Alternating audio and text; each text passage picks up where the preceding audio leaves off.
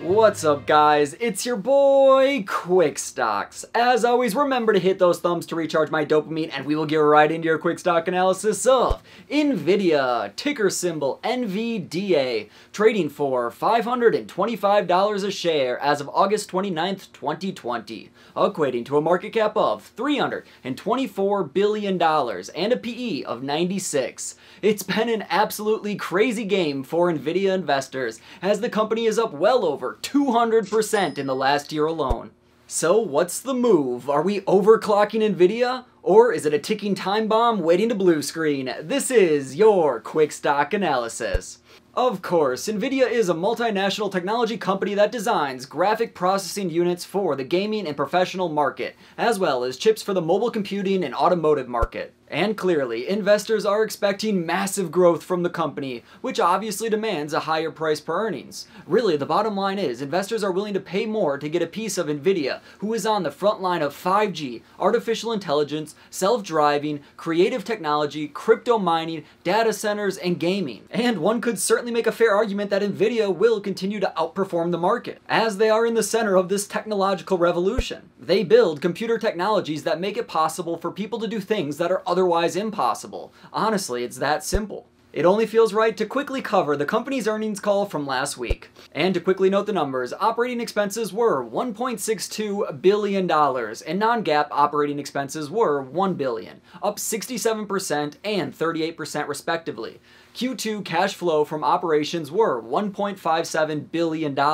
Revenue was 3.87 billion, up a whopping 50% year over year. And considering the global pandemic, no one was surprised that the company's gaming segment absolutely crushed it, with a revenue of $1.6 billion, which was up 26% year over year. The company states this upside was broad based across geographical regions, products, and channels. And along with this, the demand for virtual and cloud-based graphic solutions was also accelerated by remote workers. The company's Q2 vGPU increased 60% year on year. And to top it off, data centers had a record quarter with $1.75 billion in revenue, up an insane 167% year on year, in which they have massive contracts with Microsoft, Amazon, Alibaba, Baidu, and Tencent. However, in less stellar news, the company announced their ProViz segment had a revenue of $203 million, down 30% year over year, with declines in both mobile and desktop workstations. Sales were hurt by lower enterprise demand amid the closures of many offices around the world. And to quickly note industries negatively impacted during the quarter due to the global pandemic, which include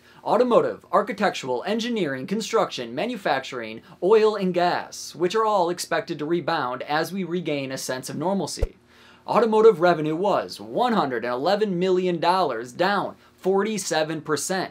However, they expect strong growth in this segment in the future. Remember, they have a partnership with Mercedes-Benz, which starting in 2024, which will launch software-defined intelligent vehicles across an entire fleet, including Drive AGX, AV autonomous driving software, and NVIDIA's AI infrastructure. Honestly, in the race for future autonomous software vehicles, Nvidia is one of the companies that could give Tesla a run for the checkered flag. And this just scratches the surface for the future of Nvidia. Take into consideration, 8 out of the top 10 world's supercomputers use NVIDIA's GPUs, NVIDIA's networking, or both, along with consistently topping the list of the world's fastest supercomputers global supercomputer market size is estimated to grow at 28% year over year, which I don't think anyone would be surprised for this to last for decades to come, as governments and companies alike update their systems to the best equipment and tech available. According to the company, NVIDIA's GPUs are nearly 2.8x more powerful and efficient than systems without NVIDIA's GPUs.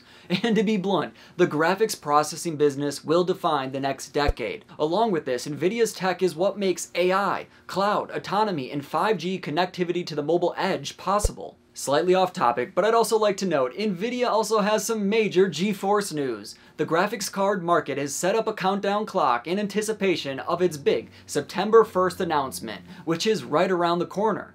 Nvidia is calling it the ultimate countdown.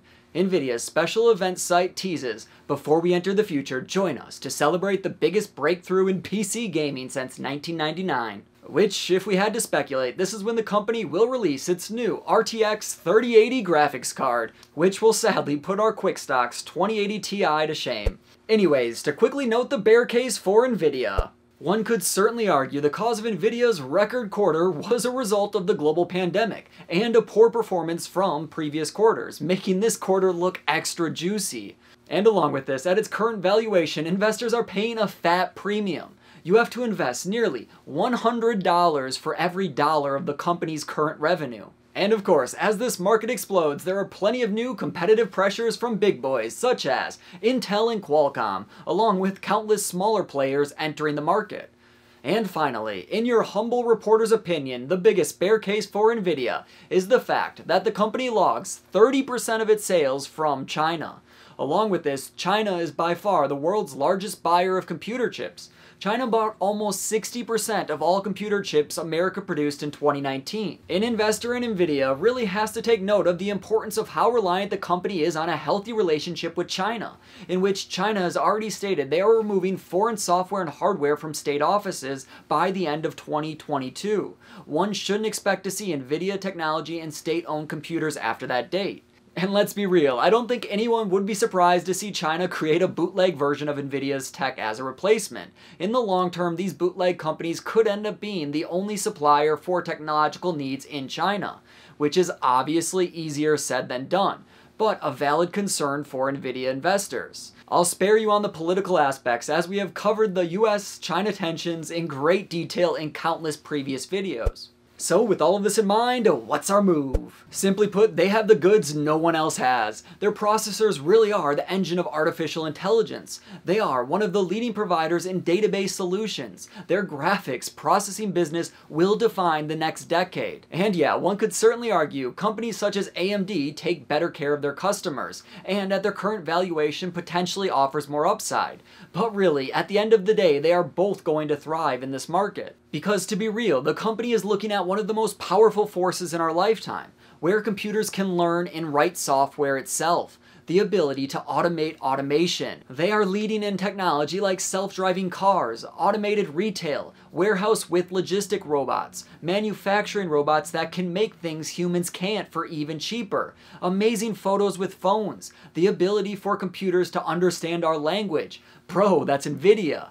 Their products could reach every aspect of our lives, as they already are, and the company's balance sheet is extremely well positioned to continue their lead within this market. However, an investor should take into consideration the fact that Nvidia's price per earnings is nearly 100 and still setting all-time highs.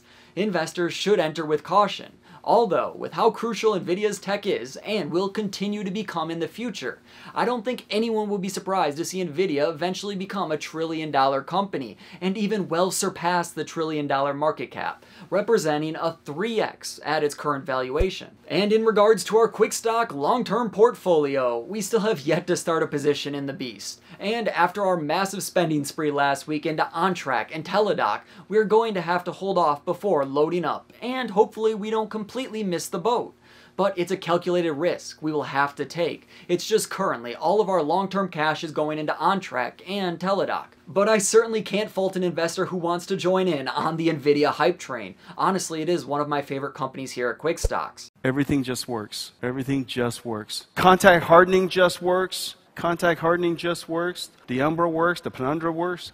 Everything just works. Everything just works. Everything just works. It just works. Everything just works. Global illumination just works. Ambient occlusion just works. Just work. Everything just works because ray tracing just works. However, take into consideration we are certainly not a financial advisor. Please do not buy anything just because you saw it purchased here on Quick Stocks. But anyways, guys, that's all I've got for today. As always, the best investment you can make is to go long on Quick Stocks. Hit that subscribe button now at 1,470 subscribers and plan an early retirement. I will catch you guys in the next one.